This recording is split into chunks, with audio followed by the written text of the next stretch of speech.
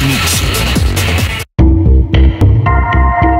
Yoshimitsu, a ninja helping the poor.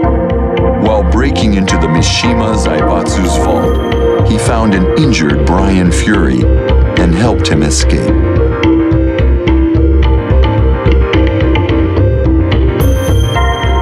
A month later, when Yoshimitsu visited Dr. Bosconovitch's lab, he found his comrades dead.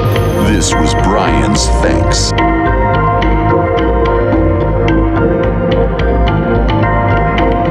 He'll pay for what he's done, says Yoshimitsu.